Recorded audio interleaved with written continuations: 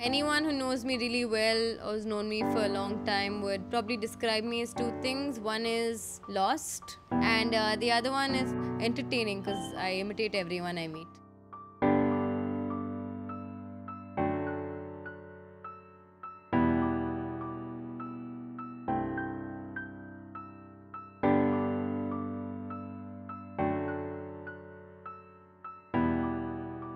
I think I've always been used to having greenery around me and I feel very comfortable as long as there's some greenery around me.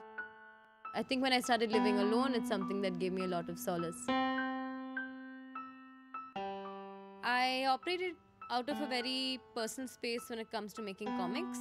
I keep saying I want people to relate to the stuff that I make, but uh, I think I like it to bring some kind of comfort or solace.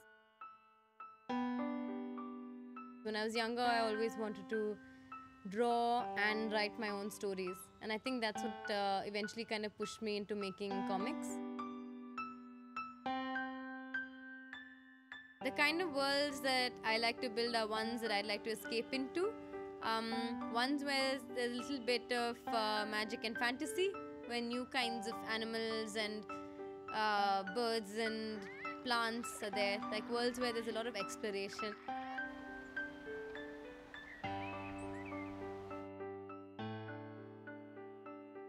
What am I most afraid of?